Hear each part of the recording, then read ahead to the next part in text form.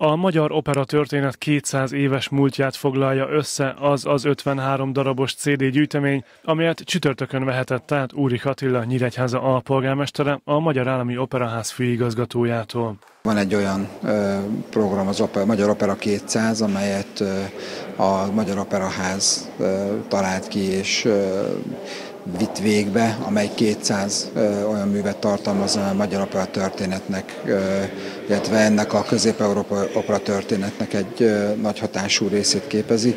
A legelső magyar operáktól, amelyek a lényegében a 18. század végén keletkeztek, itt van tehát a Pikó Herceg, meg a Béla futás, ami nem biztos, hogy nagyon sokat mond az embereknek, de akkor is ezzel kezdődött a magyar opera.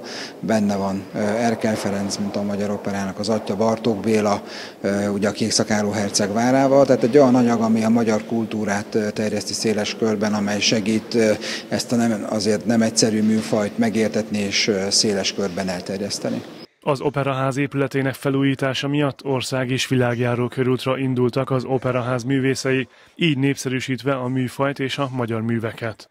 Az operát az operából turné keretében tavaly a határon túli magyarok előtt léptek fel, idén pedig 18 hazai megyeszékhelyen rendeznek vendégelőadásokat. Amíg az Operaház történelmi épülete zárva tart, addig nekünk ott az Erkel Színház, ez tény és való, de a művészi erőforrásaink két színházra, két nagy színházra szabottak, ezért arra gondoltunk, hogy egyrészt a világot járjuk majd, 18 országba jutunk el reprezentálva a magyar kultúrát, mm, azon kívül jártunk egy nagy túrát a határon túli magyarok körében, ezt folytatjuk is, de fontos, hogy befele is figyeljünk a vidéki Magyarország nagy kultúrás centrumaira, és ezért jövünk el Nyíregyházára, lesz itt egy bérletünk, közösen a Filharmoniával, és operát fogunk játszani, meg balettet, mert az operát azt a legjobban nekünk muszáj tudni Magyarországon, meg a klasszikus balettet is. Ebből remélem, hogy számos opera és balett kedvelő születik majd. A főigazgató hozzátette, az Operaház művészei az idei évadban négy darabot is színpadra visznek Nyíregyházán,